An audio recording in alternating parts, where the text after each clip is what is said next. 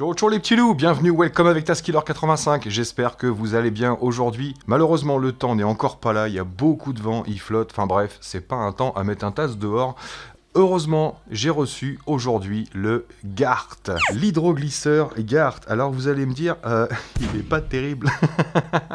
Et non, parce qu'il est en kit, il est à monter soi-même. Alors si vous avez envie de bricoler un petit peu, euh, un petit peu, beaucoup même, parce qu'il va y avoir de l'assemblage, il va y avoir de la soudure, et il va y avoir du réglage, du réglage de récepteurs avec euh, les ESC, enfin l'ESC et le moteur. Donc ça fait peur un petit peu tout ça au départ quand on ne connaît pas. Mais pour moi, je trouve que c'est un bon moyen pour euh, s'initier justement à quelques soudures, parce que là, c'est pas de la, micro-soudure, c'est de la grosse soudure, c'est juste sur des fils simplement, euh, sur les fils moteurs surtout. Et donc, il va falloir toucher un petit peu à tout ça. Donc si vous avez envie de bricoler, eh ben écoutez, je vous le recommande parce qu'il y a tout un tas de petites choses à faire. Euh, moi, j'ai qu'une hâte, c'est de commencer. Donc pour cette vidéo, j'ai envie de vous faire une vidéo complète pour ce petit GART, pour cet hydroglisseur GART euh, merci à Banggood, merci à Mariette de m'avoir envoyé ce petit engin. J'avais vraiment envie de tester. J'avais vu quelques images sur Facebook de euh, certains de la communauté euh, qui font de l'hydroglisseur et qui, qui, font tout de A à Z. Et eh bien là, on nous propose un kit complet à monter soi-même. On peut trouver le même sur AliExpress, mais sans la radiocommande, je crois. Enfin bref, là, le kit est complet et vous allez voir, c'est vraiment une très bonne qualité de base quand on regarde tous les petits éléments les uns après les autres. Donc, Comment vous allez recevoir ce pack? Eh bien écoutez, déjà un carton basique, il n'y a aucune inscription dessus. Alors attention, dans le carton, vous avez un double carton ici où vous aurez les notices et les autocollants. Euh, moi je pensais que j'avais pas d'autocollants, je pensais que j'avais pas de mode d'emploi et j'étais un peu perdu, je me suis dit c'est quoi ce bordel? Mais non, en fait vous avez tout, il faut bien fouiller dans le carton. Bref, vous recevrez tout ça. Donc on va détailler ensemble ce que vous allez recevoir. Donc déjà les notices, vous avez un schéma d'assemblage complet pour l'engin, surtout la partie externe, euh, sans le moteur SESC. Là vous avez la partie assemblage moteur. Ici, vous avez tout le descriptif chinois, si vous préférez, sinon il y a un peu de l'anglais, des pièces, avec bien sûr la nomenclature et les références ici. Un petit schéma vite fait pour le moteur, le SC, le cerveau et le récepteur. Vous aurez également une notice complète pour l'ESC et moteur, donc comment brancher l'ESC et comment le paramétrer. Donc vous allez voir, il y a beaucoup de paramètres possibles. Nous, on va rester en paramétrage d'usine. On va juste le relier et programmer l'accélération, euh, le freinage, le neutre et la marche arrière, si on peut avoir une marche arrière, bien sûr. Et vous avez également une petite notice complète sur la radiocommande qui est fournie. Donc un côté, alors ça paraît grand comme ça, mais vous avez un côté en anglais et un côté en chinois. Euh, donc c'est assez simple. Surpris par cette petite radiocommande, franchement, bonne qualité aussi, vous allez voir. Je commence par ça. Voici la petite radio qui vous est fournie avec. Donc euh, on a un petit volant grip ici, super bien fini. On a une Channel 3 si besoin pour mettre un, éclairage par exemple ou un klaxon sur votre hydroglisseur. On a une poignée grip ici à l'arrière. Et on a même dans le pack un second grip. Si vous êtes très stressé, que vous usez énormément votre grip, vous en avez une de rechange. Euh, un petit panneau de contrôle ici, plutôt bien complet, ma foi. Euh, throttle trim, steering trim, comme d'habitude. Ça, on verra ensemble quand on ira le piloter.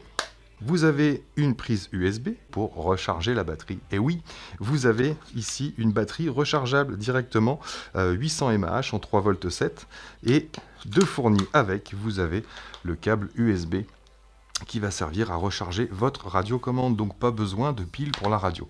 Donc vraiment, euh, bonne impression sur, euh, sur cette radiocommande Fly Sky, euh, franchement, bonne finition, je suis assez content. On verra pour ce qui est de la maniabilité et de la portée, bien sûr. Vous aurez bien sûr ce petit bloc ici, qui sera préassemblé avec les sièges dessus. Vous avez, hop, ce cache électronique, toute l'électronique va se placer sur cette plaque, que ce soit le récepteur, les ESC, le cerveau, Il n'y a que le moteur bien sûr qui sera à l'extérieur. Vous avez cette petite plaque avec deux petits boulons comme ça pour pouvoir la verrouiller, ce qui la rend un peu étanche, j'ai envie de dire. Et le principe de, ce bateau, c'est qu'on ne va pas avoir d'accumulation d'eau, puisque le plancher est légèrement penché vers le bas, et toute la flotte qui va rentrer ici devra être évacuée par l'arrière qui est ouvert. Et on voit qu'on a un petit rebord ici. Donc à mon avis, l'eau ne va pas pénétrer, sauf si vous vous retournez complètement. Je ne sais pas si ça va être facile de le retourner, mais on fera les tests plus tard, bien sûr. Donc avec deux fournis, vous avez le chargeur IMAX B3RC, on le connaît bien, il charge la 2 et la 3S. Je ne sais pas si ce bateau accepte la 3S. Le SC 25 A, normalement oui, s'il n'y a pas beaucoup de C, donc 20, 25, 30 C peut-être maximum. Euh, je vais me renseigner et on testera peut-être la 3S. Donc ce chargeur IMAX B3 avec l'alimentation, attention, il faudra un petit adaptateur qui n'est pas fourni. La petite notice du chargeur. On aura une batterie 2S 850 mAh en 25C fournie avec, une prise en T. Vous aurez la petite cage ici qui va enfermer le moteur. Donc là, c'est en plastique et on a trois petites barres en aluminium avec des vis ici pour euh, rigidifier les deux parties des petits Colson, des petits riselants. Ça, ça va être pour fixer les fils, empêcher qu'ils bougent. On aura bien sûr un petit récepteur Fly Sky, un tube rigide pour l'antenne, le petit cavalier pour faire le bind, un ESC 25 A ici Fly Color, avec bien sûr le petit bouton de mise en route on-off ainsi euh, que le petit bouton ici pour les réglages. Donc pratique, c'est pas sur le SC, on va pouvoir le placer où on veut euh, dans, dans la partie électronique et puis bien sûr le branchement qui va directement au récepteur. Un beau petit moteur brushless. Donc là, il faudra installer les petites prises.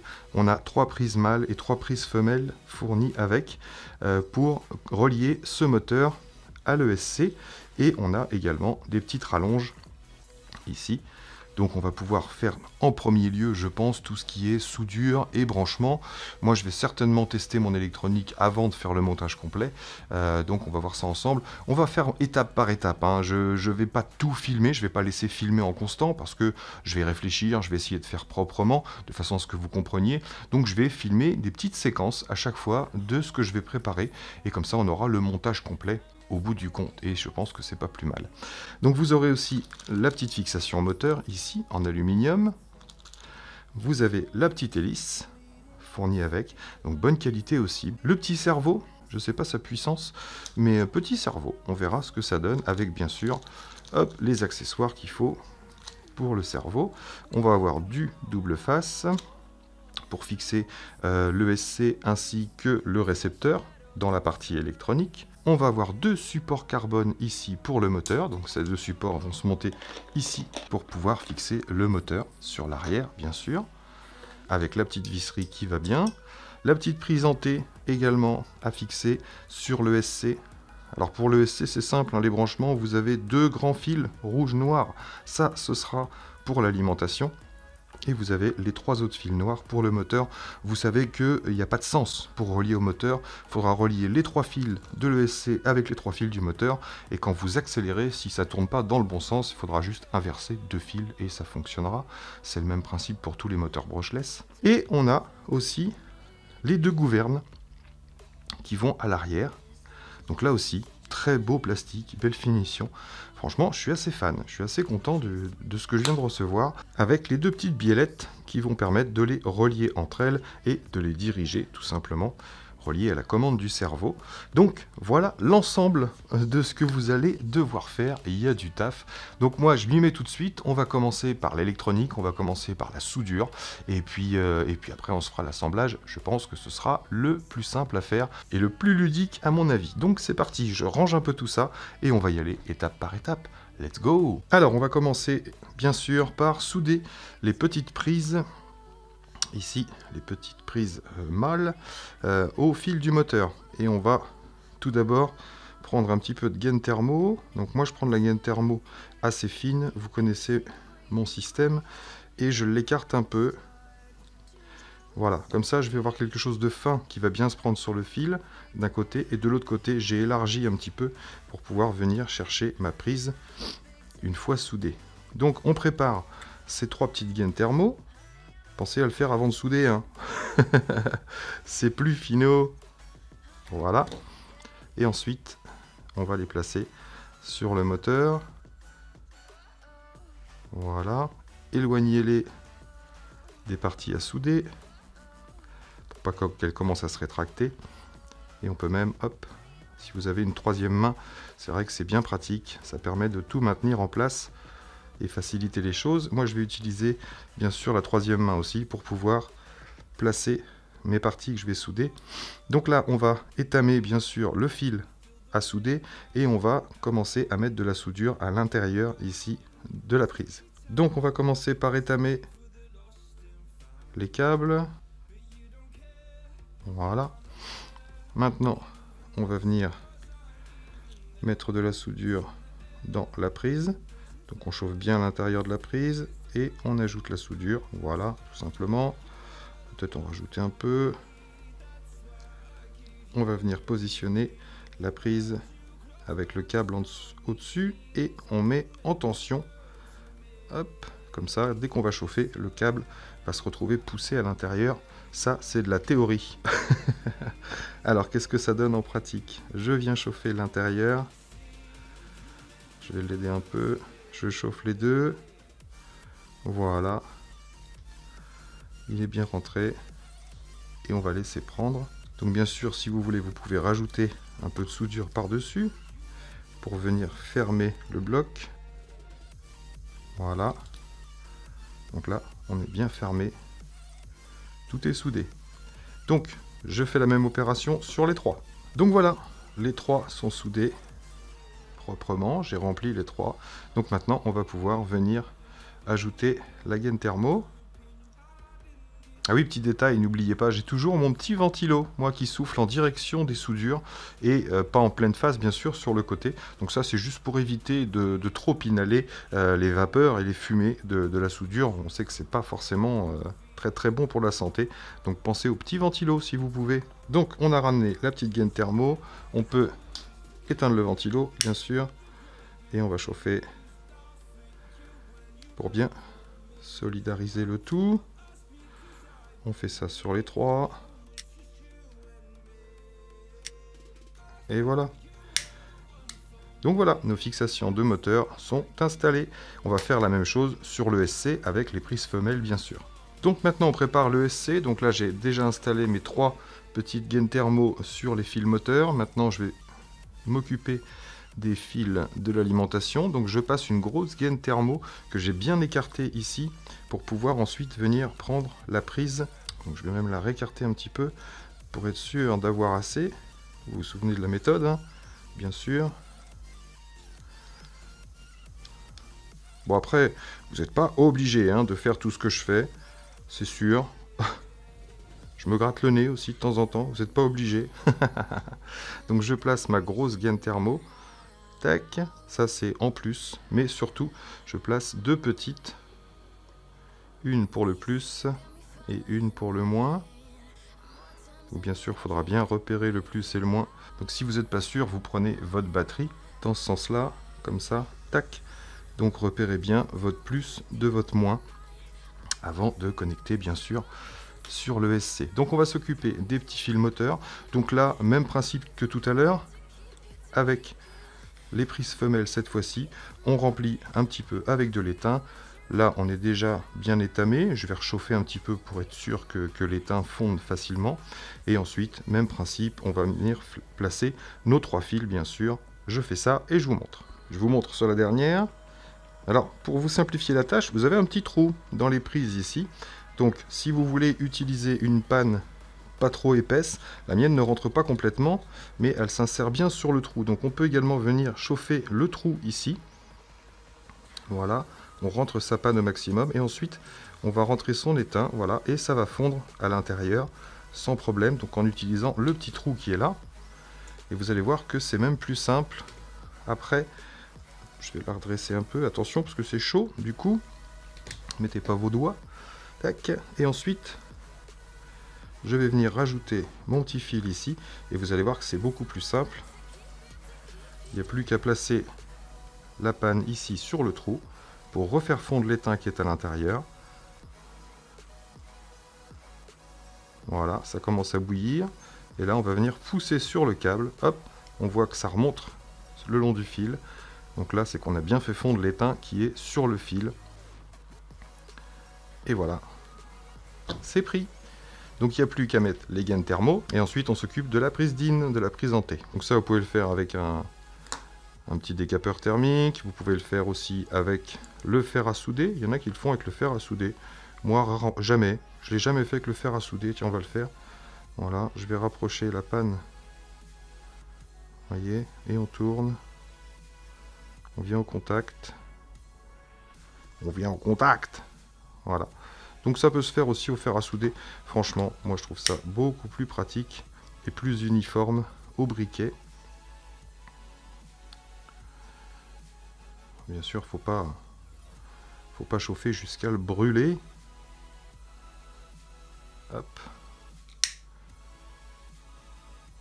Voilà, c'est rapide et propre. Donc voilà, c'est efficace, les trois prises sont connectées. On va s'occuper maintenant de la prise en T. Je vais pouvoir retirer ça et juste utiliser mon petit bout de pâte à fixe. on va venir à plat sur la prise en et on va apporter de la matière. Tac, ça c'est fait. On va pouvoir dans l'autre sens. Hop, sur l'extérieur, c'est plus simple. On vient en contact. On chauffe 3-4 secondes et on apporte la matière. Voilà. Deux petites boules bien propres, ça suffit largement. Hop, on laisse refroidir la prise 2 secondes. Pendant ce temps-là, on va réétamer un petit peu. On voit qu'il y a de l'étain déjà dessus, mais on ne sait pas de quelle qualité il est, depuis combien de temps ça y est, donc je préfère réétamer un petit peu je rechauffe, voilà, et j'apporte ma propre matière sur le dessus en refaisant une petite boule. Voilà. Donc là, on est sûr d'avoir quelque chose de qualité. N'hésitez pas à prendre de l'étain de qualité. Hein. Ça change tout au niveau des soudures, que ce soit au niveau de la résistance ou le brillant, comme vous le voyez là. Plus la soudure brille, plus votre étain est de bonne qualité. Donc on a dit, le rouge, c'est la pâte qui est à l'horizontale ici. Donc on va essayer de chauffer la prise, voilà, et on apporte le câble qu'on chauffe en même temps. Se faire le moins. Qui peut le plus peut le moins, c'est logique. voilà. Oh, la pâte à fixe, hein, c'est vraiment c'est vraiment top, pas dans toutes les situations, vous l'avez vu pour les petites prises là, la troisième main c'était bien pratique. Voilà, on va chauffer les deux.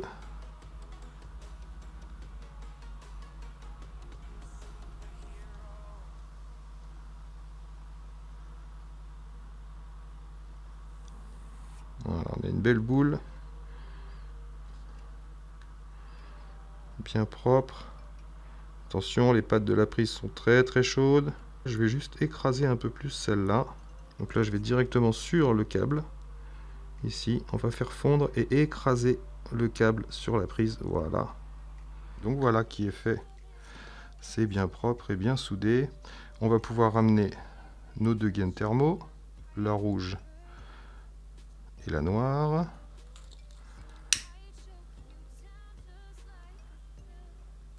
Voilà. Et ensuite, je ramène la grosse. Voilà. J'ai bien englobé la prise. Petit coup de chalumeau.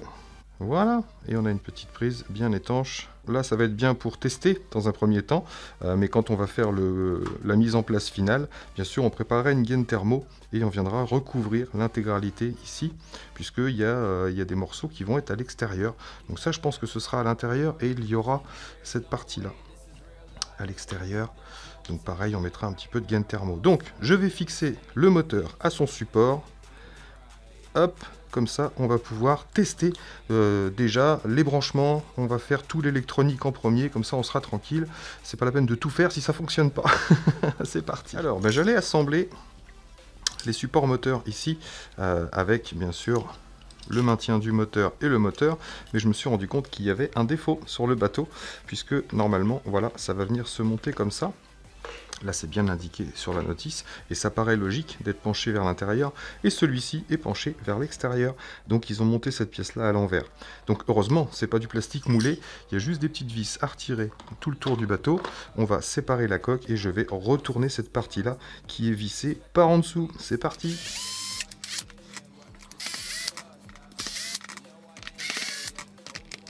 Donc j'ai bien galéré quand même parce que euh, c'est non seulement vissé, mais en plus c'est collé. Donc bah, je vais remettre un petit peu de, un petit joint de colle à chaud avant de refermer bien sûr. Mais bon, j'ai pu retourner donc cette partie là qui maintenant est dans le bon sens. Donc c'est parti, on va avoir besoin de ces trois pièces là pour installer le moteur et ensuite on va le fixer directement sur le bateau. On va installer toute l'électronique ce sera fait. Donc on va assembler ces deux pièces là, donc c'est bien l'arrondi vers l'avant du bateau, donc vers le moteur.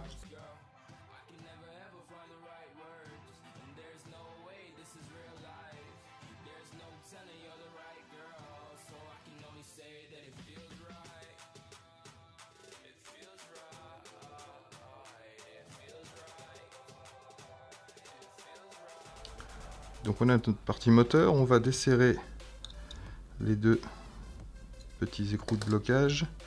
Ah, c'est vraiment juste juste, voilà. Où est-ce que je les place un peu sur le côté? Pourquoi pas? Voilà. Donc maintenant il n'y a plus qu'à bloquer.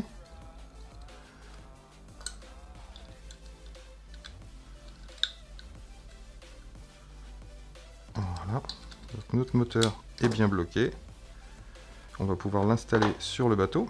pour ça, on a six petites vis ici. Donc on va pouvoir venir l'installer comme ça. Donc ça penche bien vers l'avant. Ouais, c'est bien fini, ça tombe bien en face. Fixer les 6 et ensuite on les bloquera. Prenez l'habitude quand vous avez plusieurs vis sur, euh, sur une partie, Placez toutes les vis sans les serrer, comme pour un moteur par exemple.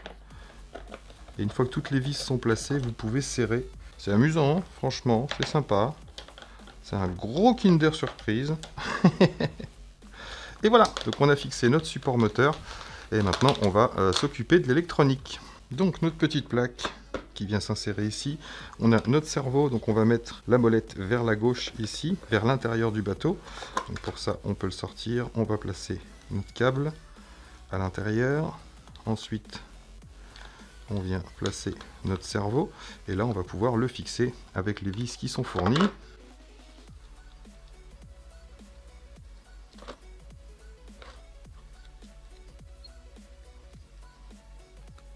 Donc voilà, notre cerveau est fixé, pas mal. On va laisser ça à l'intérieur pour l'instant. Donc ma petite tirette, quand je l'ai reçue, hop, était comme ça. Rentrer ici, beaucoup plus loin. Donc c'est pas bon, hein, vous vous en doutez bien, puisque là on est complètement pas droit.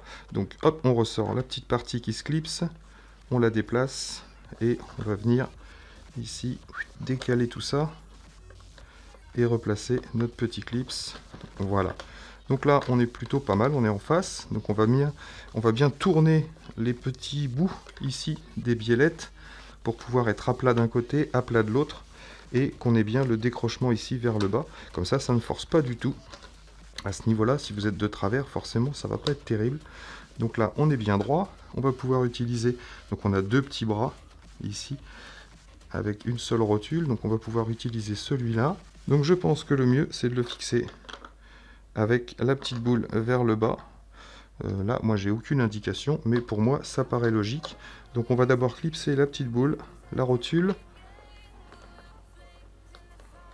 Voilà. Et ensuite, on va venir se mettre sur le cerveau. Alors on va imaginer qu'il est centré au départ. Donc on va le placer droit ici. Donc on va mettre la petite vis, hop. Donc on a deux à chaque fois, on a deux de plus pour le, fixer le cerveau et pour fixer le petit bras. Donc je mets la vis, même s'il va falloir que je la retire plus tard. Voilà. On va laisser comme ça pour l'instant. Donc c'est parti, on va mettre un double face et on va pouvoir installer le récepteur.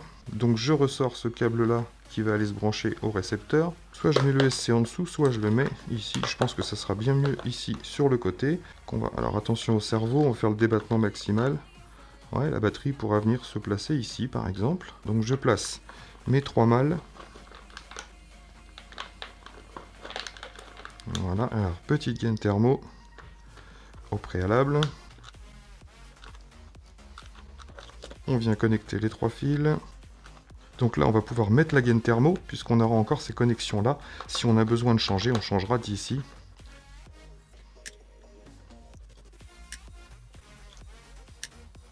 Voilà, on est pas mal.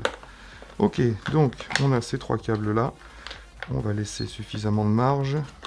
On va pouvoir brancher le cerveau et les ESC au récepteur. Donc on va mettre les ESC au channel 1. Donc plus, moins à l'extérieur. Plus au milieu, moins à l'extérieur, comme ça. Voilà. On va brancher le cerveau. Le fil signal, ça doit être le jaune, sur channel 2. Et donc maintenant, il ne reste plus qu'à alimenter le moteur. Donc les trois fils au hasard. Voilà, et là, on a branché notre électronique. Il n'y a plus qu'à binder. Alors, on va tester tout de suite. On va mettre notre petit cavalier ici. On voit que le bind, c'est la channel 3. Donc on va mettre le cavalier sur le channel 3. Et ensuite, on va pouvoir mettre en route. Et normalement, notre récepteur sera en mode bind. Il clignote. Je vais allumer la radio en mode bind. Donc on a un petit bouton bind ici. J'appuie dessus et je mets en route. Tac. Et là, automatiquement, notre récepteur est fixe, donc à mon avis, on est bindé. Donc je peux éteindre la radio. J'éteins également ici et je peux enlever mon cavalier. Donc logiquement, on est bindé. Il n'y a plus qu'à régler euh, les ESC. Alors on va d'abord faire un test, voir s'il y a besoin d'un réglage ou voir si le réglage d'usine est bon. J'allume la radio, je mets en route ici. Voilà.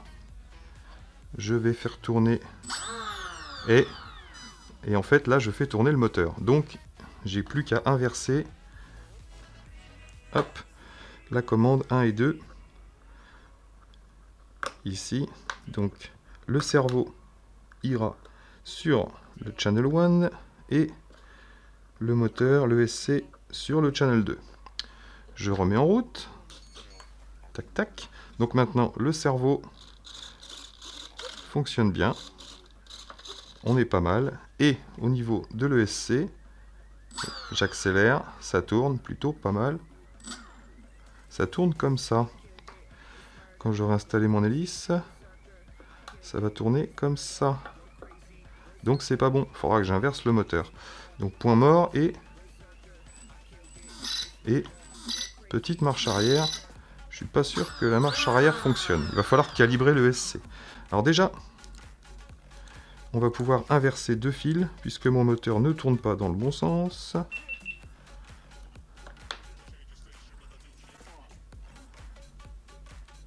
Voilà. Donc on va refaire le test. J'allume. Voilà, donc le moteur tourne dans l'autre sens. Donc là, on est bon. On va tourner comme ça. Donc on va bien propulser l'air vers l'arrière. Et la marche arrière... La marche arrière n'est pas au top. Donc on va calibrer le SC. Donc logiquement, je maintiens le bouton, je mets en route, ça bip continuellement, je relâche le bouton, je laisse le throttle en position neutre et j'appuie une fois sur le bouton. Voilà, il a bipé une fois. Donc logiquement maintenant, j'accélère à fond ici et j'appuie sur le bouton. Il a bipé deux fois. Maintenant, je repousse au maximum et je rappuie sur le bouton et il a bipé trois fois. Je relâche tout. Maintenant, je remets en route. Bip bip, ça, ça signale que c'est une 2S toujours. Accélérateur. Position neutre. Et... Ah, marche arrière, c'est moyen, hein On a bien le frein. On a bien le frein quand on repousse mais on n'a pas suffisamment la marche arrière. Euh, petite info, si par exemple, moi j'ai eu un souci, c'est que j'avais l'accélérateur, j'avais le frein, mais la marche arrière ne fonctionnait pas. Et on voit que d'origine, euh, dans les réglages de l'ESC, le max brake force, c'est-à-dire, non, le max reverse force est euh, réglé d'origine à 25%, ce qui fait que le moteur euh, commençait à tourner, mais pas suffisamment pour faire une marche arrière. Donc j'ai voulu le régler sur 50%. Je vais, vous, montrer comment ça fonctionne. On n'a pas de LED, ça fonctionne juste avec des bips sonores. Donc vous avez les bips de première catégorie, vous avez trois bips différents. Donc pour ça, on va maintenir et là on va vouloir régler euh, le max reverse force sur 50%, c'est-à-dire option 2. Donc pour ça, je maintiens le bouton, j'allume. J'ai des bips continuels et maintenant j'attends un bip, running mode. Deuxième bip, fixed area accélérateur. Troisième bip, initial brake force. 4, low voltage. 5, c'est un autre bip. 5 plus 1, 6. Et là, je lâche. Donc là, je suis dans le septième réglage, max reverse force. Et là, je bip deux fois, parce que j'ai réglé sur 50. Si je rappuie une fois, ça bip trois fois. Donc là, j'ai 75% de force en marche arrière. Je rappuie une fois, là j'ai 100% de force en marche arrière. J'ai pas besoin. Donc je rappuie, là ça bip qu'une fois. Donc j'ai 25% de force. Je veux 50, je rappuie, et là j'ai deux bips qui me dit que je suis à 50%. Ce réglage-là est fait, je peux éteindre. Voilà. Et maintenant, quand je rallume, j'ai bien ma marche avant. Voilà. Le freinage. Et si je repousse en arrière, vous voyez, j'ai la puissance à 50% par rapport à la marche avant qui est à 100%. Donc voilà comment ça se passe pour le réglage de l'ESC. C'est la même façon pour tous. Vous maintenez le bouton jusqu'à entendre le bon réglage qui vous intéresse de 1 à 13. Et, ensuite, dans ce réglage, vous aurez des bips qui signifient que vous êtes en option 1, option 2, option 3, option 4, etc. en fonction de ce que vous voulez. Voilà, il n'y aura plus qu'à replacer les câbles, les fixer avec des riselants. Mais pour l'instant, on n'a plus à s'en occuper. Donc on va pouvoir venir placer notre hélice. on a un petit plat ici sur l'axe moteur et on a un petit boulon à serrer là en BTR. Donc on va venir placer notre boulon sur le plat. Là on est plutôt pas mal. Et on va serrer. Voilà. On va pouvoir maintenant monter la cage de protection. Donc on a cette première grosse partie en un morceau qui va venir se fixer. On va rentrer les fils. On va les passer par l'intérieur. Voilà. Donc cette première partie va venir se clipser ici. Voilà. Ça sent la bonne cam quand même. Hein. Et on a cette partie-là qui va venir se mettre sur l'extérieur. Là. Et là. Donc ensuite, il n'y a plus qu'à assembler les uns dans les autres. Donc il faut que tous les morceaux soient bien clipsés avant de venir installer les trois petites barres de renfort ici. Donc elles viennent rentrer à l'intérieur du plastique. Il n'y a plus qu'à visser. Ouais, bon concept. Ça solidarise bien l'ensemble. En voilà d'une. Donc je fais pareil pour celle-ci et pour celle-là. Donc voilà, le reste c'est simple. J'ai assemblé les deux biellettes directement sur les gouvernes. On a juste à placer les gouvernes dans leurs emplacements. Voilà, ici, on va pouvoir clipser la rotule. Tac Voilà. Et maintenant, on va pouvoir tirer un petit peu puisque c'est élastique. Voilà. Pareil pour celui-là. Voilà. Donc voilà, les gouvernes sont placées. Maintenant, il n'y a plus qu'à faire quelques petits réglages pour voir si ça fonctionne. Et hey Est-ce que vous voulez un tuto pour mettre les autocollants Je mets en route. Tac. La radio. Voilà. Uh, ça envoie du pâté. Ça avance et ça recule.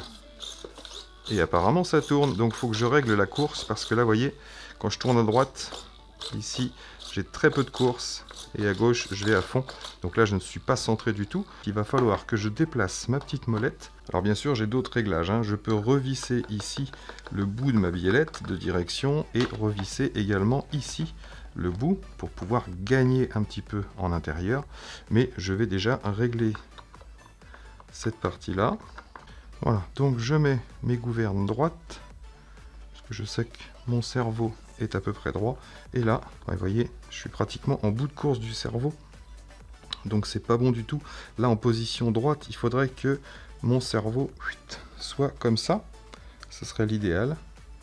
Donc pour ça, il va falloir que je resserre mes deux petites rotules, celle-là et celle-là. Donc je vais les revisser, je vois que j'ai de la marge ici et là. Donc je fais ça et je reviens. Donc j'ai sorti directement mon axe. Et maintenant, on voit ici j'ai de la marge. Donc je vais revisser ce coin-là. Donc pour ça, je maintiens bien ma tringle et je visse.